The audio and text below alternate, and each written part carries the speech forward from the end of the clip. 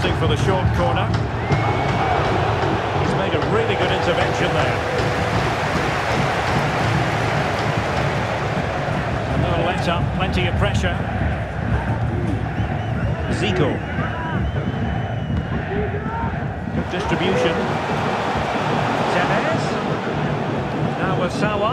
Could be.